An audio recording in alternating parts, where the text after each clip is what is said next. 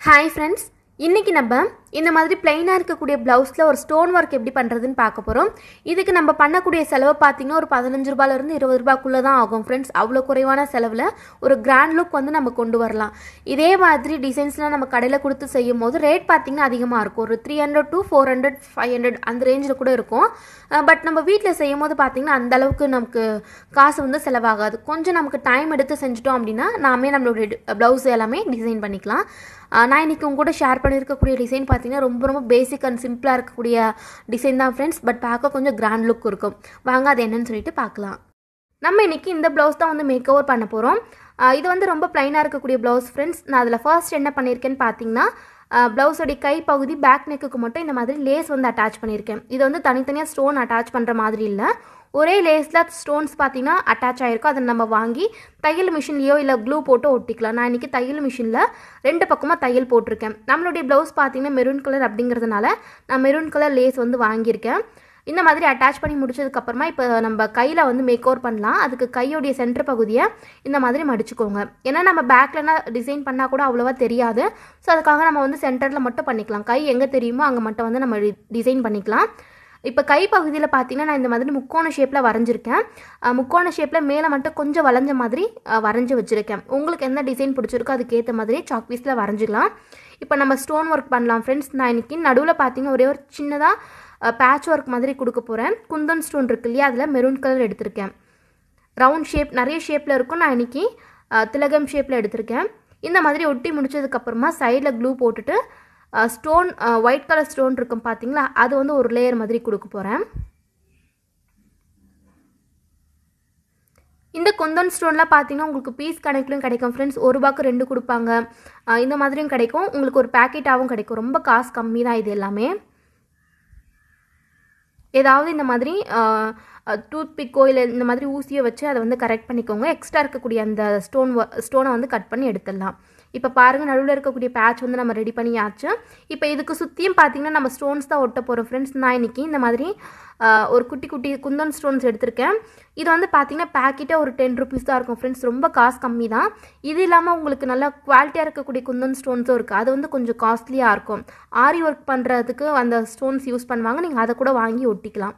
இப்போ நம்ம என்ன பண்ண போகிறோன்னா உள்ளே வரைஞ்சிருக்கோம் பார்த்தீங்களா அங்கே வந்து அந்த குட்டி குட்டி திலகம் ஷேப்பில் இருக்கக்கூடிய ஸ்டோன்ஸு ஜிக்ஸாக்காக ஒட்ட போகிறோம் ஒரே ஷேப்பில் ஒட்ட போகிறது இல்லை ஒவ்வொரு மாதிரி வந்து தனித்தனியாக அதுக்கேற்ற மாதிரி அதாவது ஒன்று மேலே ஒட்டணும்னா இன்னொன்று வந்து கீழே பார்த்த மாதிரி ஒட்டிக்க போகிறோம் இந்த மாதிரி ஜிக்ஸாக்காக ஒட்டிக்கலாம். இப்போ உங்களுக்கு பார்க்குறதுக்கு ஒரு மாதிரி தான் இருக்கும் ஃப்ரெண்ட்ஸ் க்ளூலாம் இருக்கிறதால உங்களுக்கு டிசைன் அந்த அளவுக்கு கரெக்டாக தெரியாது.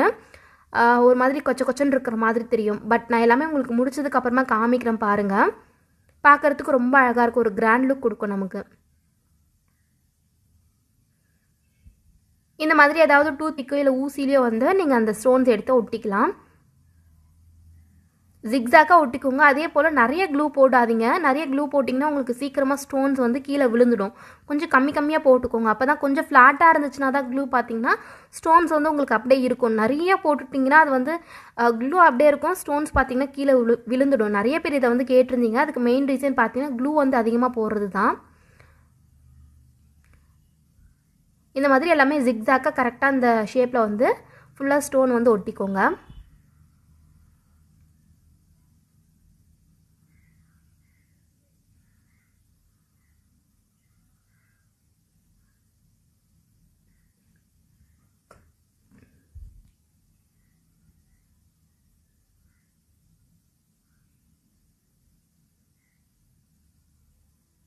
பாருங்கள் ஃப்ரெண்ட்ஸ் நம்ம ஸ்டோன் வந்து ஒட்டி முடிச்சாச்சு.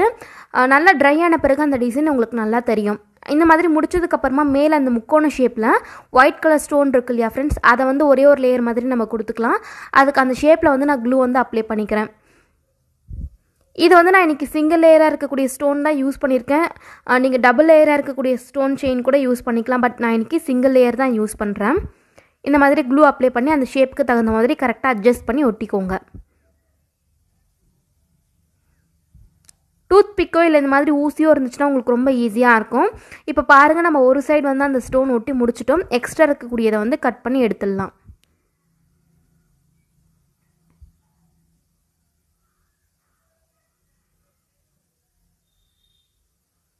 இப்போ அதே போல் இன்னொரு பக்கமாக நான் செஞ்சு முடிச்சுட்டு நான் காமிக்கிறேன். அவ்வளோதான் ஃப்ரெண்ட்ஸ் இப்போ பாருங்கள் ரெண்டு பக்கமும் நம்ம வந்து ஒட்டி முடிச்சாச்சு. பார்க்குறதுக்கு இது போல தான் இருக்குது ப்ளூ வந்து இன்னும் காயில் ஃப்ரெண்ட்ஸ் நல்லா காஞ்சிச்சுன்னா உங்களுக்கு அந்த ஸ்டோன்ஸ் நல்லா எடுத்து காமிக்கும் நல்லா பளபளன்னு தெரியும். நீங்கள் வீட்டில் செய்யும் போது கண்டிப்பாக ஒரு நாள் ஃபுல்லாக காய வச்சுட்டு அதுக்கப்புறமா எடுத்து ஸ்டோர் பண்ணுங்கள் அப்போ தான் உங்களுக்கு வந்து நல்லா அந்த ஸ்டோன்ஸ் வந்து க்ரிப்பாக இருக்கும். அதே போல் இந்த மாதிரி ஸ்டோன்ஸ்லாம் ஒட்டிட்டிங்கன்னா கண்டிப்பாக நீங்கள் வாஷிங் மிஷின்லையோ இல்லை கையில் போட்டு ரொம்ப தேய்க்கிறதோ அந்த மாதிரி பண்ணாதீங்க. சும்மா கம்ஃபர்ட்லேயோ இல்லை ஷாம்பில் வந்து நீங்கள் முக்கி காய வச்சுக்கலாம். இந்த மாதிரி செய்யும்போது உங்களுக்கு ஸ்டோன்ஸ் எப்பவுமே கொட்டி போகாது. இன்னொரு விஷயம் பார்த்தீங்கன்னா நீங்கள் அந்த ஸ்டோன்ஸ் ஒட்டும் போது க்ளூ வந்து அதிகமாக போடக்கூடாது. ரொம்ப அதிகமாக போட்டுட்டிங்கன்னா அந்த க்ளூ தான் அந்த ப்ளவுஸில் இருக்குமே தவிர அந்த ஸ்டோன்ஸ் பார்த்தீங்கன்னா சீக்கிரமாக விழுந்து போயிடும். ஸோ கரெக்டான கம்மியாக க்ளூ வந்து போட்டு ஸ்டோன்ஸ் வந்து ஒட்டிக்கோங்க. இந்த ப்ளவுஸ்க்கு பார்த்தீங்கன்னா நம்ம கைக்கு மட்டும் கொஞ்சம் கிராண்ட் லுக் கிராண்ட் லுக் கொடுத்துருக்கோம். நீங்கள் இதே டிசைனை அந்த பேக் நெக்குக்கும் கொடுத்துக்கலாம். அந்த மாதிரி செய்யும் போது ப்ளவுஸ் பார்த்தீங்கன்னா ரொம்ப கிராண்டாகிடும் உங்களுக்கு இஷ்டம் இருந்துச்சுன்னா நீங்கள் அந்த மாதிரி கூட செஞ்சுக்கலாம். இது வந்து ரொம்ப சிம்பிளான டிசைன் தான் ஃப்ரெண்ட்ஸ் உங்களுக்கு பிடிச்சிருக்கும் அப்படின்னு நினைக்கிறேன். நல்லா காஞ்ச பிறகு பார்த்தீங்கன்னா உங்களுக்கு டிசைன் நல்லா தெரியும். இதுக்கு நம்ம பண்ணியிருக்கக்கூடிய செலவு பார்த்தீங்கன்னா பேட்ச் ஒரு பத்து ரூபா அந்த ஸ்டோன்ஸ் ஒரு பத்து ரூபா அவ்வளோதான் வந்து நம்ம பண்ணியிருக்கோம்.